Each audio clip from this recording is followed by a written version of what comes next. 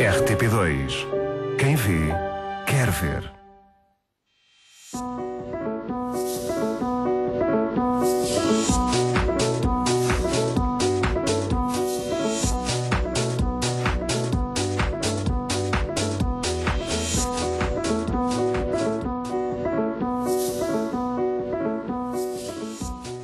Olá, boa tarde, seja bem-vindo à Sociedade Civil. Se vai fazer piqueniques este verão, levar a lancheira para a praia, por exemplo, ou se não dispensa uma mariscada em tempo de calor, acompanhe a Sociedade Civil de hoje. Vamos falar de segurança alimentar no verão. O calor aumenta as probabilidades de alimentos serem contaminados e provocarem intoxicação ou infecção alimentar. É também para minimizar este risco que a ASAI realiza nesta altura fiscalizações. Cabe-nos, no entanto, a nós fiscalizar o próprio comportamento, como aconselham especialistas já a seguir neste Sociedade Civil.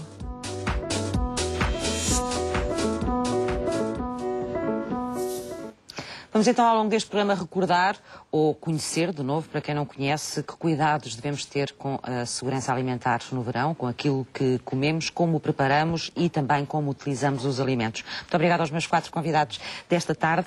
A Paula Teixeira é professora e é investigadora na área da segurança alimentar na Universidade Católica Portuguesa eh, e coordenou também vários projetos dedicados, sobretudo, à segurança alimentar para as crianças. Porquê que geralmente há mais casos de, de, into, de toxinfecções alimentares nos, nestes meses, nos meses de verão? Boa tarde. Eh, Como referiu na, na, na reportagem, eh, o calor, eh, o aumento da, da, da temperatura faz com que os alimentos com muita facilidade eh, cheguem a temperaturas que permitem o crescimento de bactérias eh, patogénicas. Portanto, Portanto, as bactérias dão-se bem com o calor. muito bem. Principalmente as bactérias patogénicas, Uhum. as que causam doença. E, portanto, é por isso que precisamos ter eh, cuidados especiais com os alimentos. Agora, todos os alimentos reagem da mesma maneira ao calor? Ou alguns eh, Depende. podem trazer mais problemas do que Alguns outros? alimentos trazem mais problemas que outros. Aqueles alimentos eh, com mais probabilidade de, de se degradar, os, os fiambres, eh, patês, eh, as carnes, os ovos, trarão certamente muito mais problemas do que um iogurte, que é um alimento fermentado, portanto ácido, onde estas bactérias patogénicas têm menor eh, Uhum. Mesmo que o capacidade iogurte não esteja metido no frigorífico ou não esteja a baixas temperaturas? Mesmo que o iogurte não esteja a baixas temperaturas. Portanto, não se degrada com tanta facilidade. Não se degrada com tanta facilidade. Ah, o que é uma toxinfecção alimentar? Para as pessoas perceberem em concreto. É, é- é uma doença eh, causada pelo consumo de alimentos contaminados com organismos patogénicos, bactérias ou vírus, eh, e que resulta normalmente eh, em diarreia, vômitos, dores de cabeça, aqueles sintomas que nós associamos a uma gastroenterite. Eh, portanto, esta é eh, a toxinfecção alimentar, assim, a sintomatologia mais comum. Claro que há algumas situações, eh, há casos mais graves, com que, portanto, a sintomatologia pode evoluir e podemos ter situações muito mais complicadas, mas a maior parte das toxinfecções alimentares caracteriza-se por diarreia, dor de E são benignas, não é? Acabam por ser tratadas a e maior parte, sim. A maior parte. Pedro Graça, bem-vindo. É diretor do Programa Nacional para a Promoção da Alimentação Saudável, da Direção-Geral de Saúde. Este programa cuida em especial também a alimentação no verão? Sim, ah, o programa destina-se a promover a alimentação saudável, tal como o nome indica, e preocupa-nos muitas vezes os momentos do ano, o verão é um momento especial, e também grupos da população que são grupos especiais, nomeadamente em relação a estas toxoinfecções alimentares, as crianças, os idosos são os grupos mais frágeis com os quais devemos ter mais atenção. Portanto, essas duas situações levam-nos a escrever, nós no nosso site geralmente damos informação sobre isto, e também a lançar alguns avisos, alguns alertas, para que alguns cuidados básicos da população relativamente a este tipo de situações, nomeadamente quando transportam alimentos, quando confeccionam alimentos, quando armazenam alimentos em casa. E, portanto, são-se os três momentos críticos ah, que, nesta altura, devemos ter mais cuidado. Uhum. E são só as crianças e os idosos, os grupos frágeis? Não há depois na população, eh, Sim, no, no resto da população, por exemplo, estou a pensar em pessoas com algum tipo de doenças crónicas? Sim, sim. Ou Ah, grávidas, por exemplo? Precisamente. As pessoas com doenças. Todas as pessoas que tenham um déficit imunitário são geralmente pessoas que ah, são mais suscetíveis a, perante uma toxoinfecção alimentar, terem reações mais exacerbadas por um lado e menor resistência. Para além das crianças e dos idosos, as grávidas e pessoas com algum tipo de patologia que geralmente fazem com que estejam medicadas a longo tempo, ou então tenham possibilidade de, eh, quando medicadas e quando a gerir uma situação destas, em que geralmente há uma desidratação enorme, há também, em consequência, um aumento de determinado tipo de reações. Por exemplo, a pressão arterial pode subir, e, portanto, pessoas medicadas para este tipo de situações devem ter atenção especial. Ah, há outro tipo de situações que muitas vezes nós até nem, nem compreendemos bem, mas são, no caso de idosos que já, já têm algum problema, depressões, por exemplo, ah, este tipo de toxoinfecções alimentares que desidrata também, aumenta também os casos de, de confusão, de, de falta de distanciamento da realidade, que são depois situações de risco que têm que ser acauteladas. Uhum. Um, este... Os centros de saúde fazem algum tipo de trabalho nesse sentido de aconselhamento, nomeadamente junto dos idosos, junto dos médicos de família, etc., Sim. nesta altura ou não? Os profissionais de saúde, de um modo geral, estão alertados para este tipo de situações, até porque são situações que no verão aparecem com alguma frequência nestes locais. Mais do que o alerta, ou para além do alerta e da prevenção, é também a necessidade de avisar as pessoas que na altura do verão não estão perto do seu médico. E essa é uma situação também que devemos acautelar, ou seja, pessoas que muitas vezes estão longe de, dos seus locais onde recorrem quando têm qualquer problema e sentem-se também duplamente fragilizadas por estarem num local desconhecido e de repente estarem a vivenciar uma situação que é uma situação uh, uhum. que perturba muito. Sobretudo se forem pessoas que têm um histórico clínico, não é? Ou têm doenças crónicas, aí ainda é mais uh, sim, complicado. Sim, sim. Muitas vezes é, é difícil explicar uh, qual foi o processo, não é? Que, que a pessoa e, teve. E, e o fundamental nestes casos é a pessoa prevenir e, e, e, saber à partida quais são os momentos de risco. Uhum. E é aí que vai quase toda a grande parte do nosso trabalho, uhum. é avisar as pessoas quais são os momentos, quais são os produtos alimentares e quais são as situações que realmente geram este tipo de situações porque são muito standardizadas. Uhum. Nós sabemos quase sempre quando acontecem já, estes problemas. Já vamos é falar que, delas é mais que em pormenor e de todos esses momentos que, que já enumerou aí que hum. são uh, fundamentais neste processo. Duarte Dias Lopes, bem-vindo. Uh, é professor do curso de enfermagem veterinária na Escola Superior Agrária uh, de Bragança e é médico veterinário também. A Paula já falou aqui, por exemplo, da, da carne e, e, de como é preciso ter atenção a ela e dos derivados da carne nesta altura do ano. qual é o tipo de problemas, nomeadamente ao nível uh, do consumo de carne que o verão pode trazer? Não, é, cuidados os, especiais. Exato, os cuidados especiais aprendem-se, obviamente, com, a, com, as temperaturas, não é? com, com, a, um, com, o cuidado que tem que haver na, na refrigeração de, destes produtos, que são produtos perecíveis, eh, e, portanto, importa para os consumidores eh, que terem sempre presente. Portanto, a carne não, deve estar sempre em temperatura refrigerada. Devemos ver que há, há, carnes mais, mais sensíveis às temperaturas, nomeadamente as carnes de de aves e, de, uh, que são, e as miudezas, que são uhum. mais, portanto, aí temos de ter um, um cuidado maior. São mais sensíveis são do mais, que a carne de vaca, por exemplo, a carne de exato, porco, carne porco, cabrito. Exato, exato. A carne picada, muito mais, não é? Portanto, aliás, a carne picada deve ser é, que é um, é um pormenor que, que, e, que a maior parte dos consumidores que as pessoas mais eh, consomem, provavelmente, a galinha e o frango, não? Sim, exatamente, a galinha e o frango. Portanto, e as temperaturas, quando falamos em temperaturas de conservação, falamos abaixo dos 4 graus, não é? Eh, enquanto a carne de vaca pode estar um pouco, um pouco mais acima. Uh, mas uh, o caso da carne picada também é muito importante, que deve, estar, deve ser preparada no talho, no ato, não é? Na altura. na altura, exato, na altura em, em, que, em que, o consumidor a pede. E, também deve e ser, não comprar a carne já picada. E, e, exatamente, portanto, não previamente uhum. picada. Portanto, ela picada portanto, ela fica mais, exposta, é ela isso? Ela fica mais exposta, obviamente. Do que se for uma peça inteira. Do que for peça inteira, exatamente. E, e, portanto, se está mais exposta, também se deteriora mais depressa, é isso? mais, também está, está, mais exposta aos agentes patogénicos, não é? Portanto, aí uhum. Eh, o risco de, de uma, uma, alteração é, é, é, é maior. Uhum. Mas que tipo, que tipo de doenças é que, ou de problemas é que as pessoas podem uh, apanhar com carne que não esteja em condições? Pronto, há um, há, há, um, há um, conjunto de doenças que são vulgarmente conhecidas Sim. por zoonoses, eh, não só... Zoonoses. Exato, nas zoonoses, passando um bocadinho ali, uh, para além de, dos micro-organismos habituais, estes patogénicos das toxas infecções alimentares, portanto, há um conjunto de doenças também que podem provir da carne. Aquilo que os médicos veterinários fazem no seu trabalho, eh, não só enquanto sanitaristas nas explorações, mas também a nível dos matadouros, como inspectores sanitários, é garantirem que a carne que sai, por exemplo, de um matadouro, está isenta de um conjunto de, também de patogénicos, nomeadamente no, no âmbito das zoonoses. Por exemplo, no caso da carne de porco, nós temos que Fazem isso através de que análises? Exato, fazem análises. No caso da carne de porco, uh, temos que garantir que a carne do, do, de porco está isenta de triquinose, que é uma, uma parasitose uh, que que nós podemos verificar uh, utilizando métodos microscópicos, temos garantia mesmo no, no, nos matadores que a carne de suíno está isenta da triquinela, portanto, que é uma, é uma parasitose específica do, Sim, dos, e dos que contamina o homem. contamina o homem e que pode exatamente. Uh, e também uh, o, uh, há um conjunto de outras doenças que têm que ser monitorizadas a nível dos, dos centros de abate para pronto, se garantir que a carne que chega pronto, depois, depois à, à, comercialização e, e ao retalho está em plenas condições de salubridade. Uhum. Já vamos saber mais em pormenor como é que isso se faz, qual é o processo, nomeadamente, e qual é o papel dos, dos veterinários também nesse processo, que ainda é longo, desde, desde que o animal é abatido até que chega ao talho. Uh, e depois é, é, é, consumido. Maria Cândida Marramac, bem-vinda também à sociedade civil, é assessora técnica uh, na Associação Nacional das Indústrias de uh, Laticínios.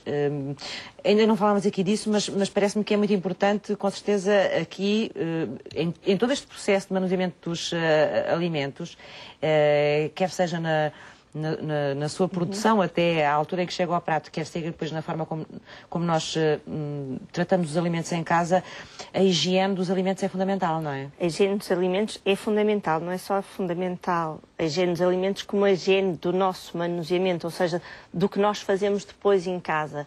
Uh, em princípio, a indústria já garante um grande nível de higiene alimentar, ou seja, uh, e tem que o garantir por força de, uma de um determinado número de requisitos, mas depois tudo aquilo que nós fazemos em casa e desde o momento da compra até ao momento de o consumirmos, tem toda um, uma grande influência no que podem vir a ser uh, as doenças de caráter alimentar, não é? Que, que, que se contraem.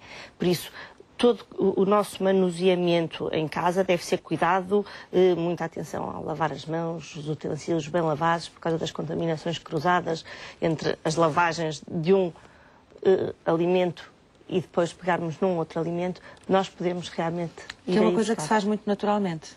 Faz-se naturalmente, mas como, que deveria como, por exemplo, usar uh, bancas que já, onde já passaram outros alimentos sem as Pronto, limpar, já passou é? carne e onde nós pousamos com muita facilidade um ovo cozido e depois colocamos dentro de uma salada e, e isso realmente pode nos trazer depois as chamadas toxinfecções alimentares. Uhum. Portanto, e no verão? É, é, é, sobretudo no verão que é preciso ter atenção a esse No verão temos que ter mais atenção a esse manuseamento, porque, lá falou a Paula, a, a temperatura e a, a, a, que os alimentos estão expostos, não é? Mesmo que seja pouco, permite um maior desenvolvimento bacteriano. E se nós não tivermos realmente cuidado com a higiene das, da, dos instrumentos que estamos a utilizar e das bancadas que estamos a utilizar e das nossas próprias mãos, não é? com facilidade podemos trazer esses micro-organismos para dentro dos alimentos. Uhum. Já vamos falar tudo isto com mais profundidade, mais em pormenor. No verão, os casos de toxinfecções alimentares aumentam, mas uh, com os cuidados certos é possível evitar problemas de saúde. Diz a Organização Mundial de Saúde que todos os anos um em cada três indivíduos é afetado por uma intoxicação ou infecção alimentar. E no verão, com o calor, os diagnósticos tendem a aumentar, com a maior facilidade dos agentes infecciosos se multiplicarem no meio de cultura que são alguns alimentos mais do que outros. Os ovos, o leite e as carnes de aves, bovinos e suínos, legumes e frutas são os produtos mais suscetíveis a salmonela e o Capilobacter jejuni, alguns dos agentes mais comuns. E os mariscos crus são também por vezes infectados com os vírus da hepatite A. Os sintomas mais comuns são gastrointestinais, náuseas, vômitos e diarreias sanguinolentas, dores, cólicas abdominais e febre.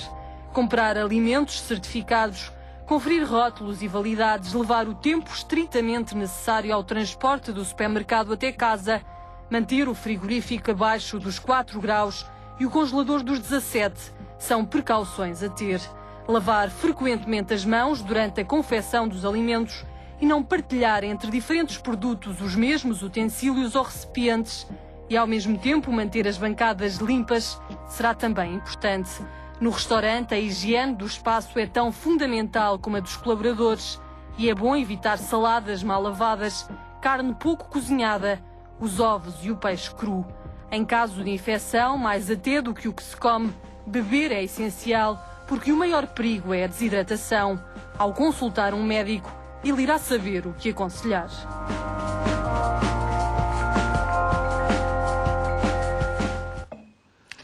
Paula Teixeira, por que a hidratação é tão importante nestes casos? Já falámos dela aqui algumas vezes. Eh, porque durante, em, em processos de toxinfecção, eh, portanto, os vómitos e as diarreias fazem com que...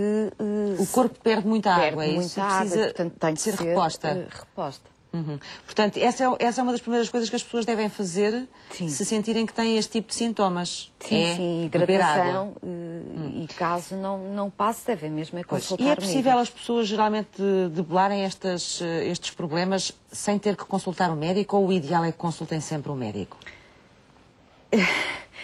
Normalmente, uh, na, ah, na maior parte das circunstâncias, eh, acabamos mesmo por não ter necessidade de consultar o médico, porque ao fim de algumas horas eh, os sintomas começam, uh, começam Sim, a abrandar. Se for uma coisa ligeira, não é? Se for uma coisa ligeira. Agora, se os sintomas persistirem e principalmente em casos de indivíduos de risco, portanto, as crianças, os idosos, as grávidas, aí eu acho que, que é, melhor consultarem, médico, é melhor consultarem o é médico. É importante se ao fim de algumas horas os sintomas uh, se mantiverem. Uhum. Já me disse que há alimentos de maior risco do que outros uh, e dentro desses alimentos de maior risco, qual é aquele que geralmente provoca mais situações destas? Sabe-se? Uh, e sim, há vários alimentos. As, as, as carnes mal cozinhadas, os ovos uh, pouco carnes, cozinhados. Carnes mal cozinhadas de que... Por exemplo, se gosta muito, eu acho no hambúrguer... gostam muito de carne mal cozinhada, Mas é? uh, carnes picadas mal cozinhadas são uh, um alimento de alto risco, não só no verão, como em qualquer altura do ano, não é? Sim, claro. Uh, pronto, os ovos mal cozinhados, ou as sobremesas com ovos crus...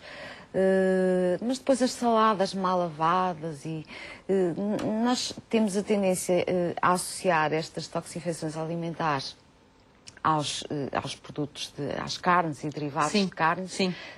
mas há cada vez mais nós somos confrontados com situações causadas pelo consumo de saladas e uhum. vegetais. Saladas mal lavadas é o quê? Como é que elas deviam ser lavadas? muito bem lavadas em água corrente e principalmente. Só com água? Minha, na minha opinião, sim. Sim. Eu estou a perguntar isto porque há produtos de lavagem, não é? Das saladas que há muita gente que utiliza. Não sei se isso uh, funciona, se não funciona, se vale a pena. funciona um bocadinho. Ou seja, eu acho que os benefícios que se obtêm, se calhar, não compensam os riscos. Esses exemplo, produtos também têm riscos, é? Aos, aos resíduos químicos que acabam por. Uhum. Uh, e há quem aconselha pôr uns pingos de lexívia na água? Isso também não. Sim, eu, eu aí acho que, mas, que ainda, é, ainda Mas há quem é- faça isso, não é? Ah, mas eu não. Na minha opinião, é, é, ainda mais desaconselhável, até porque muitas das lexívias comerciais não são só hipoclorito de sódio, é hipoclorito de sódio com muitas outras coisas. Portanto, as pessoas muitas vezes não estão a ter consciência que podem estar a adicionar um outro detergente. Ou... Portanto, eu acho uma boa lavagem à água corrente e ter alguma confiança eh, na origem do produto. Isso é cada vez mais difícil, a gente não sabe onde é que eles vêm, a maior parte das vezes, no supermercado. Mas à é partida...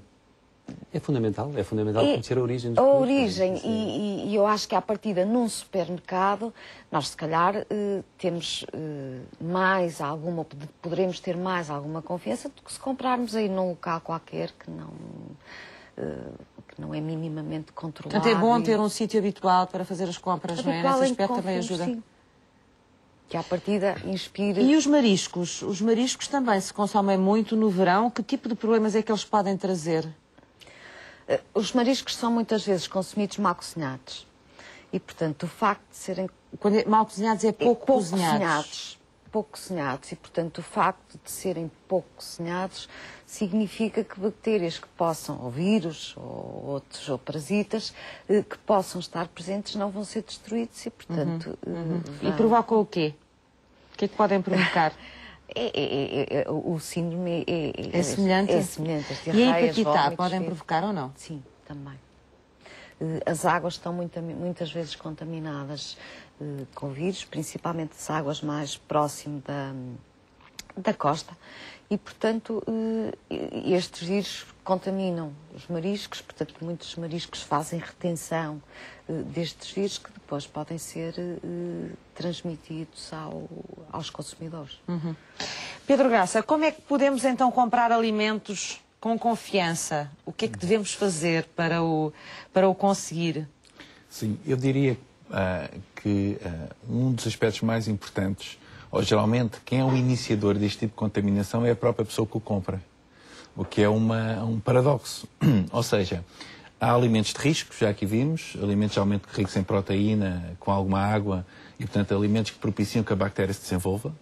Há uh, a temperatura ambiente que no verão, assim entre os 5 e os 65 graus, 107 graus, são as temperaturas ideais para o desenvolvimento bacteriano.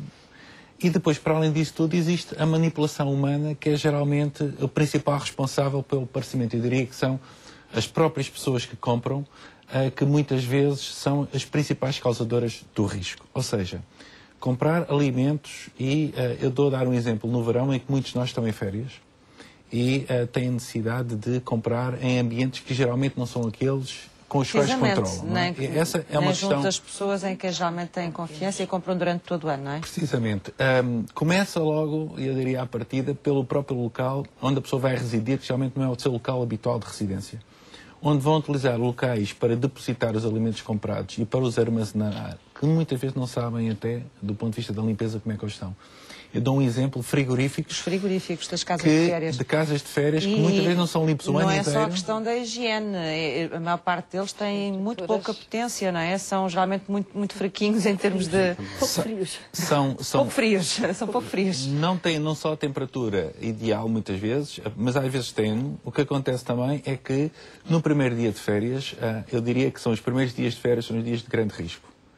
Grande risco porque uh, são geralmente dias em que uh, se vai comprar muita coisa, porque se quer encher a casa no primeiro dia quando que é para chega, não ter que estar aí sempre às compras? Uh, em que se compra muita quantidade. Geralmente essas compras são feitas a um locais que não conhecemos, em que geralmente o automóvel, o local onde deslocamos, fica ao sol e, portanto, eh, está-se muito tempo a comprar, não se conhece os locais de compra.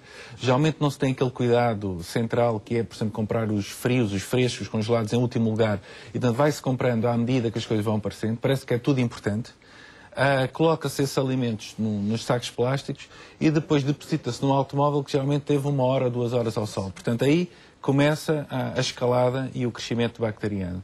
Um, como se isso não bastasse, geralmente os percursos até a casa são mais demorados muitas vezes do que aquilo que, são, que é o habitual, porque estamos a comprar um caixa que não conhecemos e estamos a deslocar-nos para sítios não conhecemos, e depois chegamos a casa e muitas vezes a colocação no frigorífico, que é exíguo face à, à grande quantidade de alimentos que se compra, faz com que a maior parte desses alimentos, até recuperarem a temperatura de conservação ideal, demorem muito mais tempo e às vezes até não os, não os atingem. Pois quanto mais cheio o frigorífico, é? pior, não é? Nesse aspecto. Precisamente. E muitas vezes mal organizados, em que muitas vezes uh, os produtos que deveriam ter acesso ao frio de imediato, por exemplo, os produtos congelados, que deviam imediatamente ir para o congelador, acabam por ser os últimos a ser colocados, porque entanto estamos a colocar outras coisas e estamos a arrumar o azeite ou as batatas que não têm interesse em termos de frio imediato e deixamos nos sacos plásticos. Portanto, esta organização interna das compras, em, por um lado, não comprar tudo uma só vez nos primeiros dias, em a, progressivamente existir uma adaptação ao local e só depois começar a comprar e evitar que o automóvel esteja exposto muito ao sol, são regras básicas, mas têm um impacto muito grande em termos da, da, da, da degradação da matéria-prima, que é o primeiro passo para o aparecimento de uma toxinofecção uhum. alimentar. Portanto, são essas condições também que fazem com que uh, apareçam mais casos nesta altura do ano, não é? Uh, tem muito a ver com a uhum. forma como as pessoas uh, manuseiam os alimentos e como os, como os conservam, não é? Sim, claramente. Relativamente à carne, a carne é uma das coisas que precisa de chegar a casa e ir logo para o frigorífico, Exatamente. não é? Aí, aí é que, Ou para o congelador. A cadeia de frio exatamente tem que ser mantida, não é? No caso, como digo, das carnes vermelhas, de, sempre, sempre abaixo dos 7 graus. Eh, nas, nas carnes uh, congeladas aí são abaixo dos menos 18 graus, como, como estavam a referir. Agora, há um, há um, aspecto importante, é que no caso das carnes, nós hoje podemos, uh, e é importante que isso, que isso aconteça, podemos garantir aquilo que se signa por rastreabilidade. Isto é, hoje, mercê também da, da rotulagem, portanto, a nível da, da, da carne, é obrigatório ter uma rotulagem que, que identifique a origem dessa carne. Nós hoje podemos uh, seguir, digamos, o rastro da carne e saber qual é que é o animal que esteve na sua, na sua origem. Portanto, e ao longo de toda essa cadeia de produção claro. tem que haver controles é, sanitários. É, é, muito importante. É, no caso da carne isso acontece, eu acho que uh, claro. é, uma, é uma área pronto, onde, como digo, os, os médicos veterinários intervêm e que me parece que, em termos de controle, uh, está, está bem organizada portanto, e hoje dá também confiança ao consumidor que, quando consome aquela carne, nós podemos, obviamente, saber uh, de qual é que é a origem em termos de, da produção, portanto, uhum. do estábulo de onde ela provém. Falávamos há pouco aqui da carne crua ou de co consumir carne pouco cozinhada. Isso é um problema? É, é, um problema, é um problema. Em relação às carnes Sempre. de porco... Nunca devíamos há, comer carne carnes de porco em Portugal, mal cozinhada. Sim, é uma regra. Eu acho que é uma regra, em termos sanitários, é uma regra que nós aconselhamos, não é? Portanto, que a carne deve estar bem, bem, eh, bem, bem, bem, bem confeccionada, portanto, bem passada. No caso da, da, carne de porco, e nós sabemos disso, temos cá algumas parasitoses mesmo cá, não obstante todo este controle que é feito, portanto, e que tem minimizado também o surgimento de, de, de casos em termos de, de saúde pública, eh, mas portanto, há algumas parasitoses do porco que, portanto, que, nós conhecemos e que elas existem, daí o facto de carne de porco deve ser sempre bem passada. Um, ehm, em relação a, a, carnes picadas, obviamente também tem que ter esse cuidado por causa também do desenvolvimento uh, microbiano. Uh, mas acho que é uma, uma, regra, em termos de regra sanitária, acho que deve ser uma boa regra, uhum. porque muitas vezes há Geralmente carnes que... não é a carne de porco que as pessoas carne, consomem, carne consomem carne é, é, a carne, carne bovina, não é? É carne bovina, mas também, também é verdade, também cons assim. consumimos assim. também alguma carne importada que, não obstante, e acreditamos todo o controle sanitário também que é feito na origem, por vezes também não conhecemos muito a epidemiologia, digamos, das doenças locais, portanto, não é? Isso é uma, portanto, acho que também constitui sempre algum risco. Mas essa, essa carne, eh, quando chega aos nossos supermercados, não, não foi já rastreada Sim, ela, ela, ela vem, ela vem, exatamente, já vem com, com tem, tem que Sim. vir para, ser, para chegar ao, ao mas o que está a dizer mercados. é depois no manuseamento, se a pessoa não a manusear não, como deve ser. Não só no manuseamento, é mesmo em relação à origem, não é? Portanto, nós, nós não sabemos em, em, concreto, por exemplo, em relação a algumas parasitoses, não sabemos se elas eh, ocorrem eh, em determinado tipo de contextos, em determinado tipo de países, eh, quando, quando, quando temos carnes importadas. Portanto, não me parece, como, como regra sanitária, em relação às carnes que são, mesmo carnes importadas de bovino, acho que a regra deverá ser sempre consumi-las bem, bem passadas. Bem cozinhadas, bem cozinhadas. não é? Uh, qual, qual, é o, o, processo pelo qual uh, a carne passa? E, e, o que eu dizia ali, que geralmente as coisas começam a acontecer quando chegam às mãos do consumidor, mas qual é o processo uh, de, de, de, rastreamento e de, de, trabalho que é feito com, com, a carne desde que o animal é abatido até que nós temos acesso à, à, à carne no, no, supermercado ou no talho, não é? Muita gente usa o talho também em vez de, de a comprar já embalada no supermercado.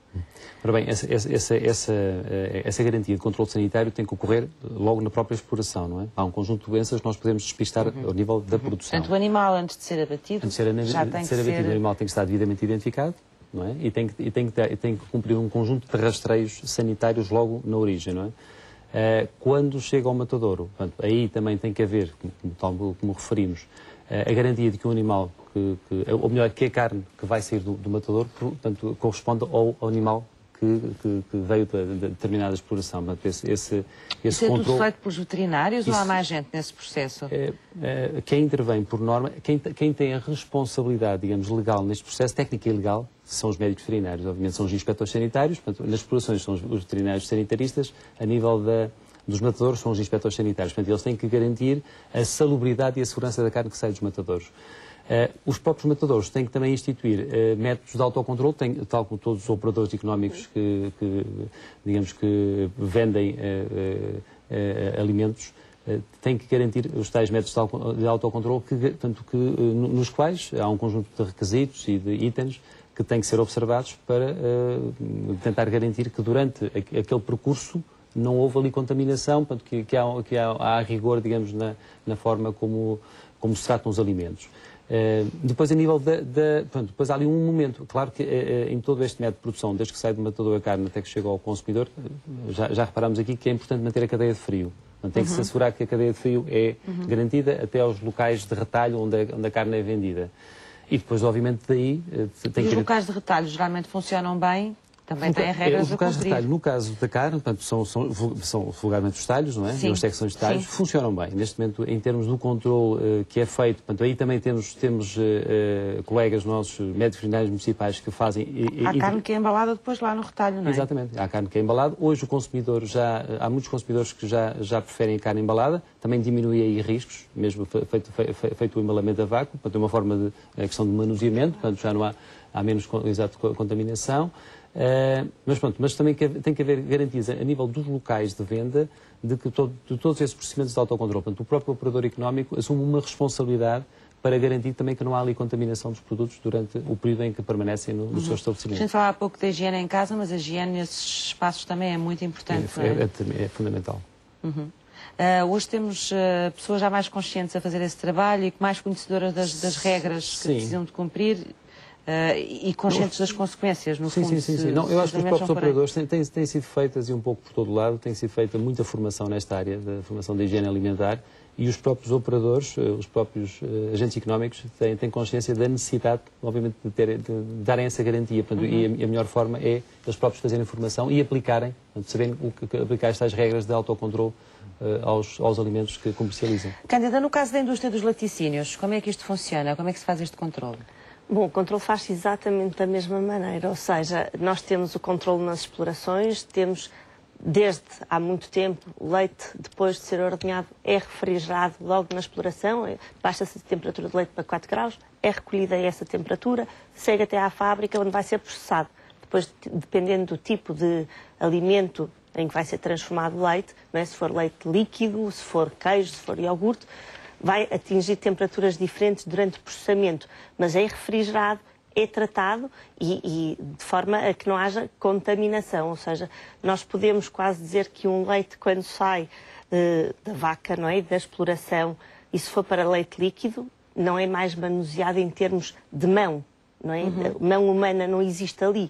Seja, são processos, são, são processos eh, físicos, de temperatura, que são aplicados ao leite, não é? De, de, de separação ou de junção da gordura e etc. Mas não há mão física, por isso estamos a falar de equipamentos que são eh, constantemente lavados e desinfetados uh, entre sessões, por isso aí o risco é muito diminuto. Mesmo há bocado, quando falávamos nos iogurtes, os iogurtes, para além de serem tratados termicamente, depois vão sofrer uma fermentação que lhes vai baixar o pH e que também os vai manter livres mais uhum. de, de contaminações. Por isso temos aqui uma série de processos onde a mão humana é muito pequena. Uhum. E, e por isso, em termos de segurança alimentar, temos por aí controlados, depois temos todos os operadores têm que ter implementados os processos de controle de qualidade e de controle uh, de, de, segurança alimentar, não é? Os HCCPs, todo, todas as indústrias são obrigadas a ter uhum. e todas têm que o manter. A Paula já nos disse que os iogurtes, em princípio, não são uh, alimentos que tenham grande risco, o leite também não, o queijo também não? Não, o queijo também não? Estamos a falar, uh, no caso dos iogurtes, temos um, uma, um, um, alimento ácido, portanto, e as bactérias patogénicas, de uma maneira geral, não gostam... Não gostam de, de ácido? Não gostam, gostam de quê? De coisas doces? Doces, Quentes, quentinhas... Úmidas? Uh, úmidas, nutritivas. uh, quando falamos no leite, uh, se for um leite pasteurizado ou um leite ultrapasteurizado, eh, se for um leite cru, a situação é outra. Leite do dia, o que nós chamamos de leite não, não, do dia? Não, não, o leite não. sem qualquer tratamento térmico. O leite do dia ou leite pasteurizado. Sim. Portanto, aí não há. Eh, são, são, são alimentos que sofreram um processamento térmico que têm como objetivo eliminar organismos patogénicos. Então, Portanto, o leite, estamos a falar do leite só se for diretamente, as pessoas consomem Sim. o leite diretamente. Mas eu Sim. acho que hoje em dia também muito é uma... pouco. Em Portugal é uma prática muito pouco comum. Até porque vender não é possível, ou seja, vender em termos... Só se for o consumo próprio, sim, não é? De quem sim, o tem. Sim, sim, sim. E aí realmente as pessoas têm que ter um bocadinho mais de cuidado, de cuidado. embora... embora o que é que acontece maior... com esse leite cru, como disse? E esse leite cru... Não foi cozido, não é? Não, não foi, foi, não foi sujeito a altas temperaturas. Às altas temperaturas e durante o processo de ordenha é possível haver que haja contaminação. contaminação. Uhum. Depois, no caso dos queijos, eh, há queijos que apresentam, poderão apresentar alguns riscos, nomeadamente os queijos de, produzidos com leite cru, leite não tratado hum, por processos térmicos. Produz-se muito leite, queijos com leite cru? Sim, produzem-se bastantes queijos com leite cru, embora não seja a força do que está no mercado, também não são normalmente os mais consumidos na altura de verão, é quando uhum. há menos produção, porque... Uh, que queijos são esses, para eu perceber? Uh, se pensarmos, uh, são, são todos os que nós consideramos queijos tradicionais, ou seja, temos desde o queijo São Jorge, que à partida não traz problemas, que é feito com leite cru, mas tem um prazo de maturação tão grande, ou seja, quando nós estamos a dar maturação ao queijo, não é? nós temos um, um período em que os micro-organismos vão ser eliminados naturalmente pelo processo de maturação. O que é o processo de maturação? O, o processo de maturação é o processo de envelhecimento do queijo. Ou seja, nós damos-lhe condições de temperatura e de umidade para que o queijo possa desenvolver. Vai curando, é isso vai é que a gente curando. costuma dizer? Exatamente, o queijo, o queijo vai, vai curando. curando. E por isso, isso faz, tem, tem, tem, para além de dar sabor e de alterar a textura do queijo, não é? Em termos de boca, vai fazer com que temos menos umidade, por isso temos menos bactérias, temos menos. Uhum. Ou seja, portanto, os queijos curados, que são os queijos mais secos. Mais secos e menos secos. Também podemos ter Não? queijos de pasta mais amanteigada, mas que já são têm. curados? são curados, podem ter um período de maturação de 60 dias e normalmente uhum. quando estamos a falar de queijos feitos com este... Como é que a gente os distingue? Como é que a gente distingue? O consumidor, logo, claro. Logo no rótulo pode distingui-lo porque ele obrigatoriamente tem que dizer feito com leite cru ou leite cru. Pronto. E se for feito com leite cru, o que é que a gente tem que ver a seguir? O que é que temos que ver a seguir? Vem lá o tempo que, que não, foi não curado? Não, não tempo de maturação, mas aí está da parte do fabricante garantir Sim. que eh, cumpriu com o tempo de maturação necessário, que eh, foi produzido nas condições higiênicas, não é? E que, à partida, há determinados critérios em termos então, mas analíticos... partindo do princípio que todos foram feitos segundo as regras, não temos que nos preocupar com, Eu acho que o tipo de queijo? Normalmente não temos que nos preocupar, não. até porque a maior não parte temos? dos queijos... Não. Temos ou não, Paula? Existe um maior risco de com alguma tipo coisa de correr mal com os queijos de leite cru e de pasta mole. Uh, Portanto, era um bocadinho aquilo que eu estava a dizer. É mais seguro de uma forma geral, pelo menos nesta altura do verão, e as pessoas às vezes não tendo a forma melhor de acondicionar Sim, os queijos como fazem em casa. Sim, até o resto do ano a Cândida, é, é preferível optar por queijos ano, curados, sim, queijos processados são aqueles mais duros sim. na prática, não é? Sim, e os queijos, uh, aqueles queijos... E os queijos frescos, como é que se chama aquele, os requeijões e essas coisas assim? O requeijão também pode ser produzido com leite cru ou pode ser produzido com leite uh, já tratado. Uh... Uhum. Portanto, uma forma então para termos alguma segurança ou maior segurança nesta altura do ano, no verão, é procurar queijos e ver na etiqueta se eles são uh, feitos com leite cru ou com leite pasteurizado, é isso? Sim, mas depois aqui também há, há, há uma questão que eu acho que é importante salientar.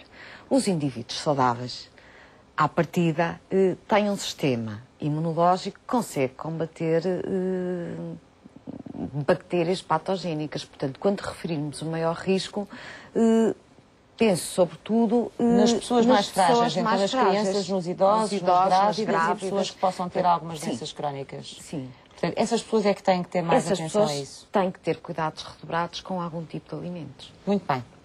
A ASAI, a Agência de Segurança Alimentar, uh, concentra no verão também a sua atividade de fiscalização nos estabelecimentos turísticos. A agência tem detectado várias infrações nesta altura do ano, mas a tendência mostra que elas estão a diminuir.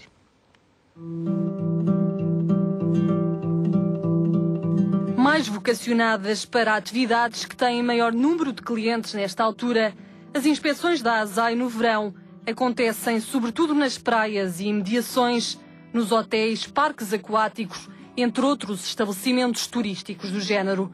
Exemplo do que pode ser alvo de fiscalização com vista à segurança alimentar é o da venda ambulante das tão apreciadas bolas de Berlim no Areal.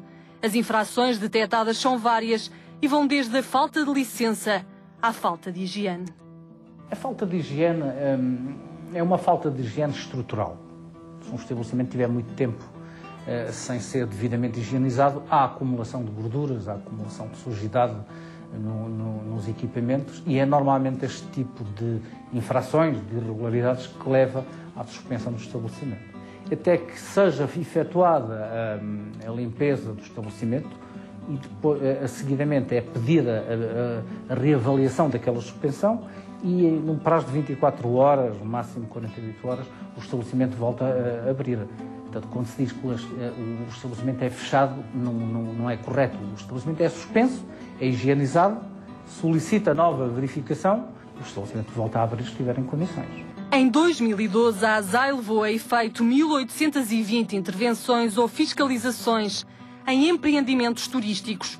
Foram suspensos 120 bares e apoios de praia, mas de uma maneira geral, a taxa de infrações tem vindo a reduzir nos últimos anos situando-se agora nos 18%, o que a Autoridade de Segurança Alimentar e Económica acredita ficar a dever-se ao trabalho que tem vindo a desenvolver para que o consumidor se possa sentir mais seguro. Sublinha, no entanto, que depende também de cada um de nós para cuidar da própria segurança alimentar e não só. Eu acho que resulta claro. Ah, ah, às vezes, obviamente, que em alturas de férias hum, as pessoas estão mais descontraídas, ah, não estão tão atentas, eh, porque estão preocupadas em descansar e, e com as férias, mas creio que se o consumidor estiver atento e o português, o consumidor português e os turistas que nos visitam são muito exigentes, eu creio que não, que não sairão enganados e terão uh, as férias e terão as férias que merecem. De cada vez que uma infração é detectada, um processo é aberto e o estabelecimento notificado da infração tem depois a obrigação de apresentar razões discordantes ou concordantes e, neste último caso, tem lugar o pagamento voluntário de uma coima. A ASAI acredita estar desta forma não só a contribuir para a segurança do consumidor final, mas também para a livre concorrência, garantindo que todos estão no mercado em igualdade de circunstâncias, que é como quem diz, cumprindo as exigências da lei.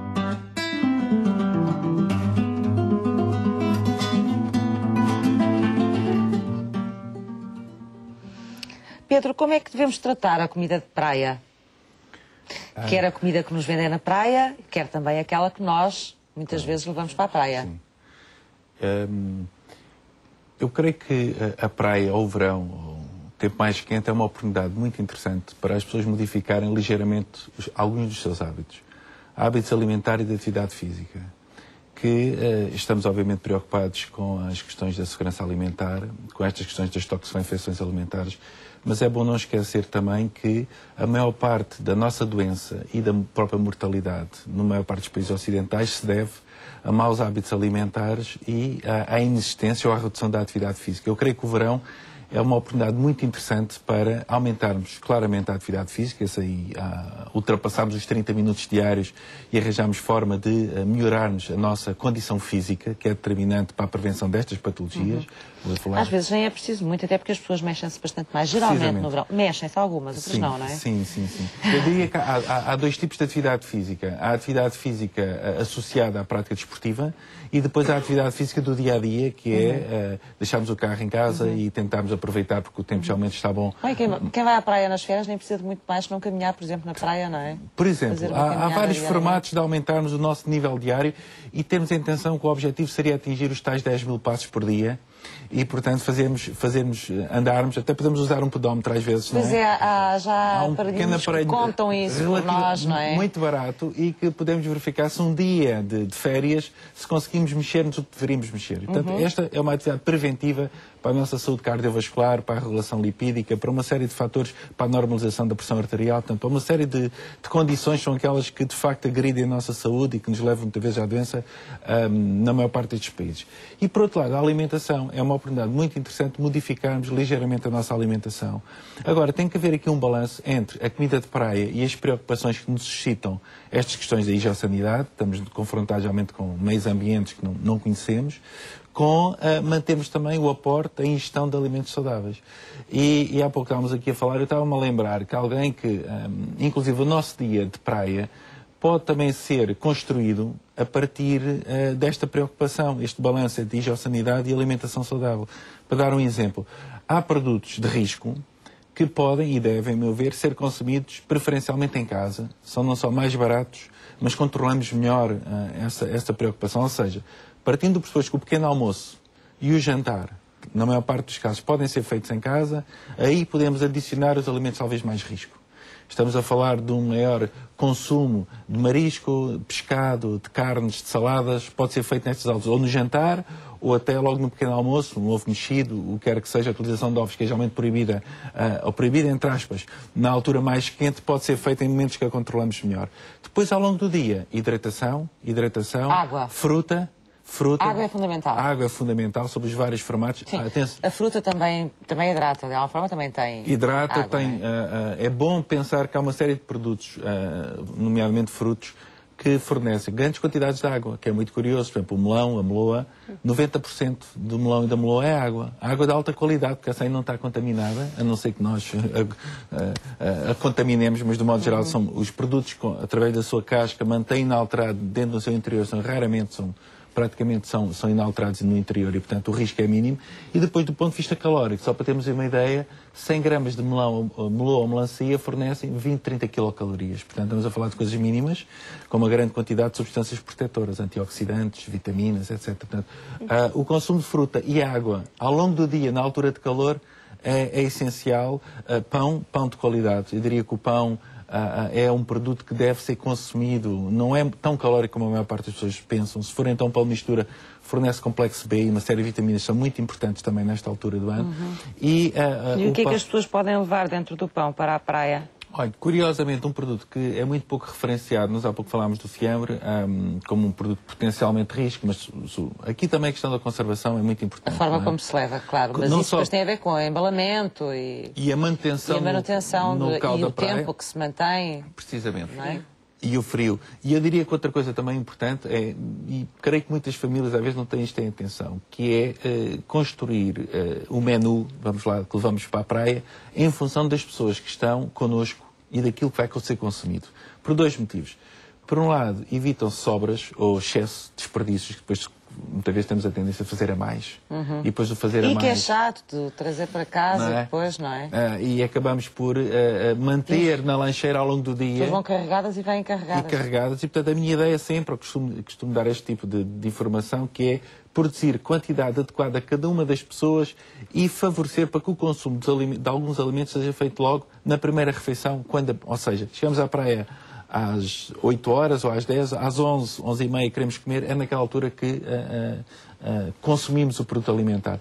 Em vez de levar para casa, de, ou então voltar a trazer depois à tarde, e depois às 5 ou 6 da tarde vamos consumir um produto que foi embalado às 8 da manhã. Portanto, esse para mim é que é o risco. Portanto, Portanto se voltar à, à, tarde à praia, é melhor fazer Durante alguma almoço, coisa fresca se... para, para a tarde. Ou é então isso. fruta, por exemplo, e mantê-la num local protegido lavado e depois consumido durante a tarde, o risco é menor do que ter uma maçã desembalada desde, desde a manhã. Uhum. Por outro lado, e sobe ainda para, em, questão, em relação às sandes em relação aos produtos que podemos levar, gostava de deixar aqui só dois sublinhados em relação, por um lado, em relação aos doces. A, a, a, as compotas, eh, que são produtos que são uh, muito resistentes uh, e raramente contaminados e, e, portanto, muito interessantes. Uh, no momento em que se pratica mais desporto, em que uma pessoa está mais ativa, há uma pequena quantidade de doce no pão, que depois faz com que a glicemia fique relativamente tranquila, não é, não é um produto de risco. Ao contrário, uh, e interessante, e para as crianças, preferível a pastelaria e muitas vezes bolos e bolachas que as pessoas uh, enchem as lancheiras de, de, de, produtos desse género com grandes quantidades de gordura, muitas vezes, gordura ainda de má qualidade, e portanto são produtos interessantes. Por outro lado, segundo aspecto também pode ser interessante, a alimentação tradicional e os portugueses um, têm a marmelada vezes... também pode entrar aí? O? A compota, falamos da compota, a marmelada também pode entrar precisamente, aí? Precisamente, precisamente. Uh, e depois eu estava a falar de produtos como leguminosas e nós temos uma tradição grande de consumo de feijão frado com, com atum, uh, grão com bacalhau, pequenos pratos pequeninos com uma pequena quantidade é dão que uma tem saciedade. ideia que é uma coisa que nós consumimos cada vez menos. Menos, menos. Do e ponto com de menos vista, variedade. Do ponto de vista nutricional, extraordinárias. Uh, do ponto de vista da fibra, de substâncias indigeríveis, totalmente indigeríveis ou semi-digeríveis, que regulam colesterol, que têm um potencial enorme, que são saciantes, promovem uma grande saciedade e, e, e, introduzem pouca energia na nossa alimentação, ao contrário daquilo que nós possamos pensar. E, portanto, um pequeno pratinho deste género, que é, uh, quebra a fome totalmente. Mas e, isso, portanto, é para levar, isso é para levar para a praia também? Ou, quando não, chegamos da praia, quando antes, antes daquela glutice que realmente acontece... podem é? ser consumidos frios, não é? Cozinhados frios, frios que são agradáveis no verão. Precisamente. Uh, eu acho que nós estamos é um bocadinho a desaprender ah, o manuseamento e a própria confecção desse tipo de alimentos, fora o grão e o feijão, não é? Pouco Sim. mais uh, vamos usando. Paulo, gostava de ouvir também sobre isto, porque Pedro enveredou ali sobretudo por tentar perceber ou por tentar dar a informação às pessoas de como é que elas podem mudar ligeiramente alguns hábitos durante o verão, de forma a aliar a segurança, por um lado, e de forma a um, terem uma alimentação saudável ou mais saudável até do que aquela que muitas vezes têm uh, no inverno. Mas depois há outros produtos, nomeadamente aqueles que existem na praia e que estão à vista dos olhos uh, das crianças e não só, e dos adultos golosos, como os gelados, as bolas de Berlim, as línguas da sogra, penso que em, em muitos sítios ainda é vendido. Um, como é que nos devemos comportar perante esses alimentos? É difícil resistir às vezes. em termos de segurança alimentar, hum, Os riscos não são muito, não? muito elevados, não. não. Uh, os problemas são mesmo os problemas relacionados com a parte, a parte nutricional. Estamos a falar, quando falamos da língua da sogra, da batata frita, da... são produtos secos, portanto, em que o desenvolvimento de micro-organismos não, não se verifica. Uhum. Eventualmente poderão pode ter, ter umas calorias a mais ou uma gordurazinha a mais. E pode, As batatas pode têm, não certeza. Haver, pode não haver e sal, muitas vezes. Eh, grandes cuidados eh, pronto, na manipulação, mas eh, nada, nada relevante. Claro que a pastelaria com creme, eu tenho sempre na praia, acho que não porque até pode ser transportada nas, nas câmaras, nas, nas arcas de frio. Sim. Faz-me sempre alguma confusão. Mas faz-me só confusão ou podemos consumir ou não podemos consumir? É que fazer confusão é uma coisa. É assim, pode não gostar, eu, não, mas eu posso gostar e quero saber se posso comer. É assim, à partida, um creme é um produto de risco. Eh, e eu não tenho a certeza de como ele foi manipulado. Se houvesse garantia de que a cadeia de frio não teria sido cumprida, ok, tanto faz, é indiferente consumir na praia ou no tecido qualquer. Agora, eu acho que é difícil não haver quebras na cadeia de frio eh, num alimento que sofre, que, que tem aquele percurso. Aí eu dizer que me faz Portanto, confusão. Os cremes podem ser mais perigosos. Mais perigosos, embora não tenha qualquer, em termos de análise que tínhamos feito, em termos Sim. de projeto, não tenha evidências. Eh... Claro. Claro, de que isso acontece. Que e também ouvimos ali a falar um inspetor da ASAI uh, e a explicar que há fiscalização nessa matéria Sim. e, portanto, uh, pelo menos aí, por esse lado, parece-me que algum trabalho está a ser feito, não quer dizer que não possa acontecer uh, um caso ou outro mais complicado. Duarte, e em relação a uma coisa que nós gostamos muito de fazer no verão também, os americanos chamam-lhe barbecue, nós chamamos churrasco, com muitas carnes, misturadas geralmente, às vezes todas misturadas mesmo, umas com as outras, uh, onde usamos muitos enchidos também. É preciso ter cuidados aí especiais.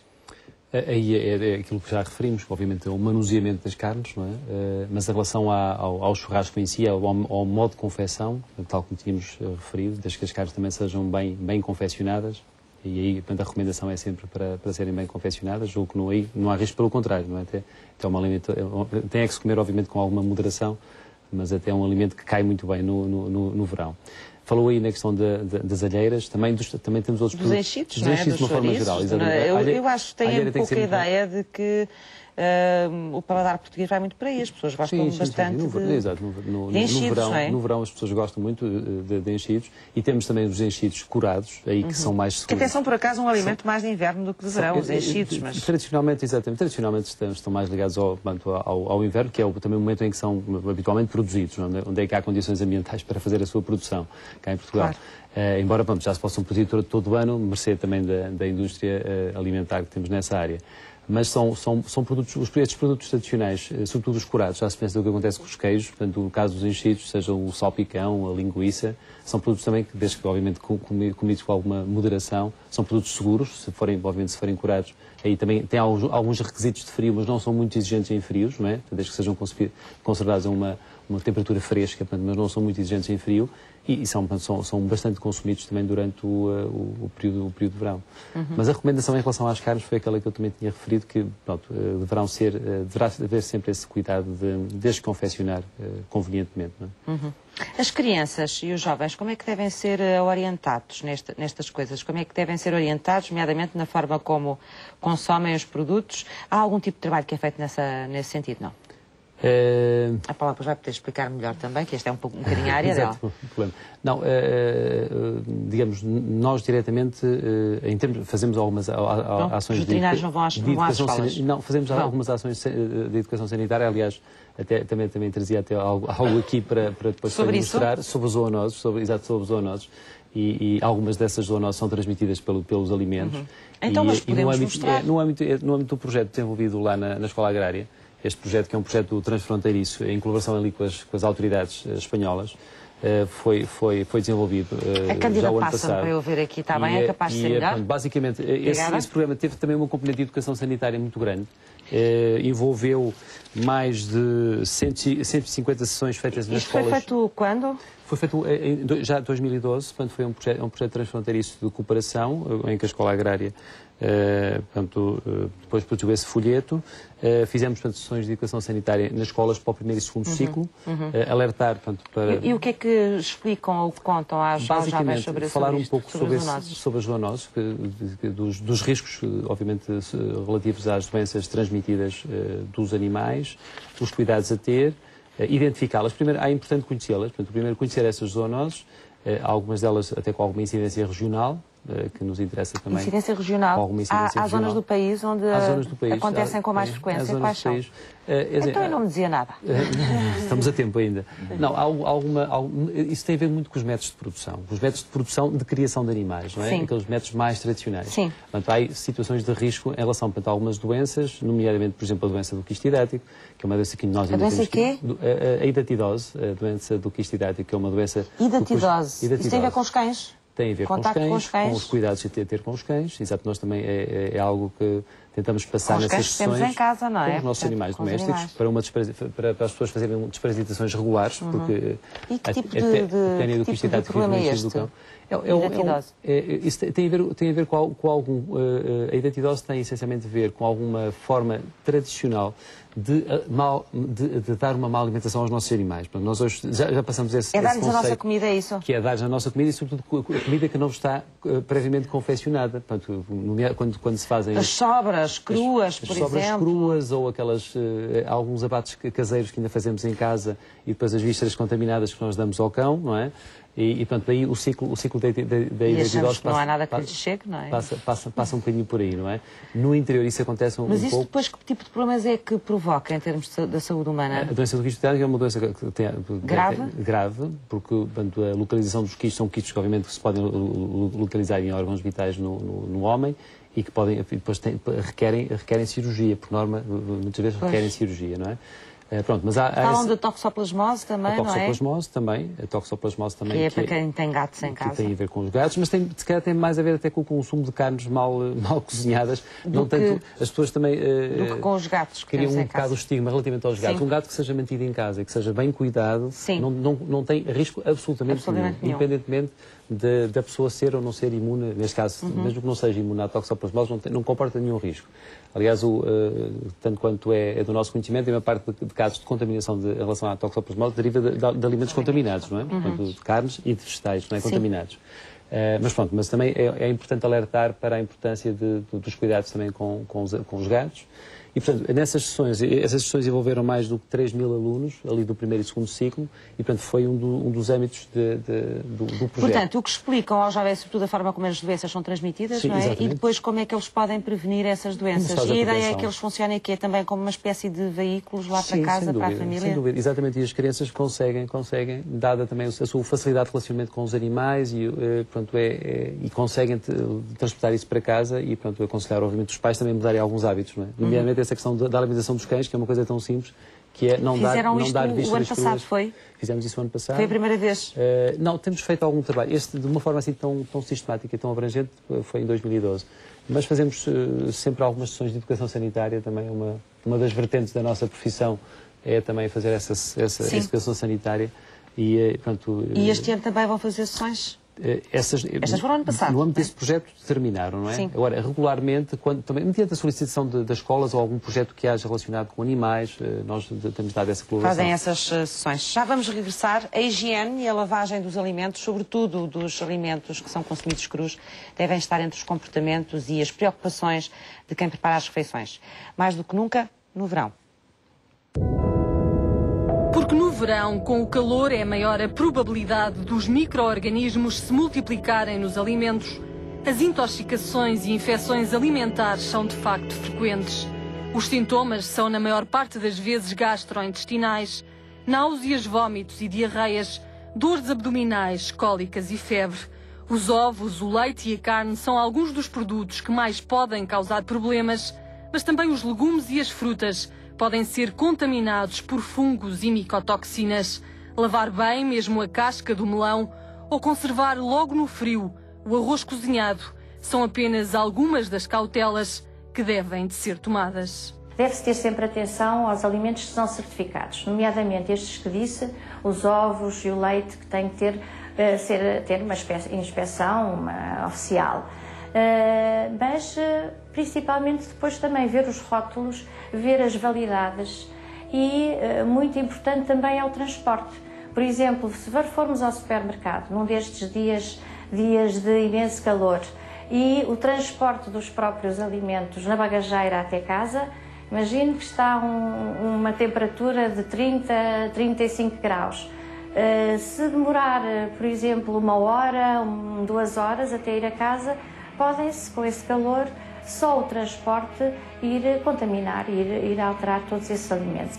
E também em casa os cuidados devem continuar. Verificar se a temperatura do frigorífico está abaixo dos 4 graus centígrados, o congelador abaixo dos 17, 18 graus. Lavar as mãos antes e mesmo durante a confecção das refeições. Evitar a contaminação entre alimentos e manter as bancadas limpas. No restaurante, o cuidado começa na escolha do estabelecimento e estende-se ao pedido. O sushi ao peixe cru continua na moda e pode apetecer, mas em tempo quente exige uma seleção ainda mais criteriosa. E quando já nada há a fazer para evitar a intoxicação, mais importante que tudo são os líquidos. E mais do que a água, soros de reidratação oral, que podem não ser suficientes e implicar uma deslocação ao serviço de urgências. Uh, poderemos depois também fazer, uh, iniciar uh, precocemente também a alimentação com, por exemplo, com, pera, com peras ou fruta cozida, pera, maçã cozida, darmos a própria água do cozimento da pera e da maçã com açúcar. Neste caso, o açúcar é um medicamento porque vai promover também a absorção da água do intestino. Importante depois também os, os cremes de cenoura, de arroz, Uh, aqui não utilizamos gorduras, devemos abolir as gorduras nesta fase de, uh, de tratamento e darmos também, oferecermos também iogurtes, iogurtes naturais, por exemplo, com frutas, com a banana, a banana madura, será neste caso também um bom alimento para tratar e para alimentar estas nossas, estas nossas crianças. De acordo com a Organização Mundial de Saúde, todos os anos, um em cada três indivíduos, entre adultos e crianças, são afetados por uma intoxicação ou infecção alimentar. Em Portugal não existem números disponíveis, mas de acordo com os dados de outros países da União Europeia, conclui-se que existirão 350 mais casos do que aqueles que chegam a ser notificados. E isto porque, na maior parte das vezes, o tratamento não chega ao hospital. Daí a importância de saber o que fazer para combater o problema e, sobretudo, saber que cuidados ter para o evitar precisamente quando é mais frequente, em tempo de verão.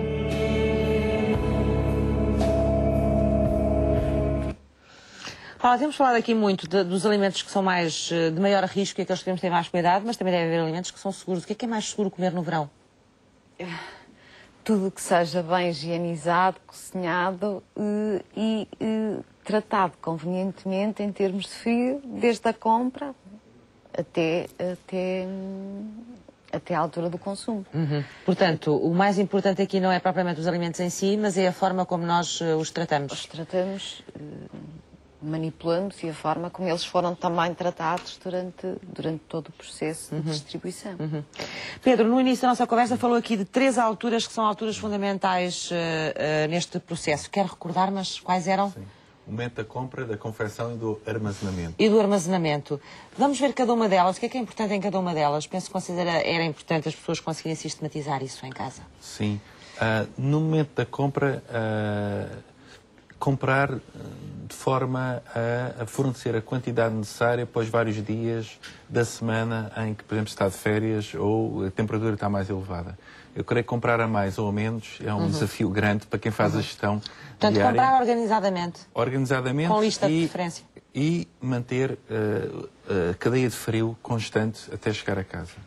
Como é que isso se faz? Às vezes não é possível. É, Leva-se marca no, no, no, carro para... Felizmente, a maior parte dos supermercados hoje em dia, ou nós já em casa, fornecem já aqueles sacos, sacos térmicos, térmicos e isso é, isso é suficiente até chegar a casa e acondicionar os alimentos geral, no frigorífico? Sim, desde que o percurso não seja muito grande e desde que a quantidade comprada não seja muito grande, uhum. é possível. E, portanto, e desde que não se vá para a praia antes de pôr a comida em casa, que estávamos aqui a falar isso enquanto víamos a reportagem, não é? Precisamente, sim, ainda há pessoas que fazem percursos fazem outras coisas pelo meio e depois comprarem comida, o que eu diria que a comida deve ser sempre a última coisa a fazer uhum. num percurso de compras. Uhum. Portanto, a seguir a comprar a comida, depois, casa. A, a, casa o armazenamento de forma uh, cuidadosa e uh, a própria confecção.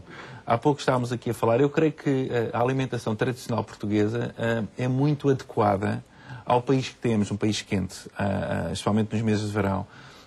mesmo a utilização de hortícolas, de frutos, muitas vezes está, tem uma série de adaptações. Estava há pouco a falar dos hortícolas, nós esquecemos que o verão, por exemplo, uma boa forma de consumir hortícolas quase sem risco é através de sopas. Sopas frias, inclusive, que temos uma tradição não grande. Não temos muita tradição de sopas frias, pelo menos aqui no norte do país não, no sim, sul talvez. No sul sim, zonas mais quentes. Aqui também? Não, aqui não. Aqui não, não no sul, zonas mais quentes. Eu acho que há aqui uma adaptação muito grande do país ao seu clima, aos seus microclimas, e essa adaptação é importante. Por outro lado, há produtos alimentares, há pouco estávamos a falar de produtos sem risco, Há determinados produtos, inclusive snacks, uh, porque o grande risco dos snacks é de facto a quantidade de sal, que é um conservante, curiosamente. Não é? E o açúcar, que são dois conservantes, mas por outro lado não nos interessa ser consumidos, somente o sal hoje em dia. E gorduras, que é, E de gorduras.